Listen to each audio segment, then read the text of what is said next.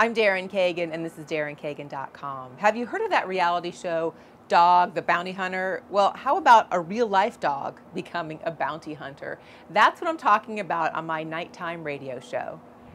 Here's a story about some prisoners down in Paraguay. These guys had some really big plans. They were planning to escape. Had the whole thing figured out, they dug a tunnel 26 feet.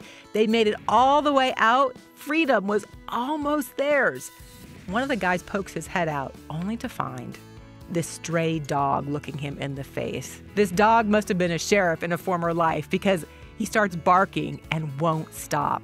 The guards hear it. Those prisoners, uh, yeah, they are right back in jail.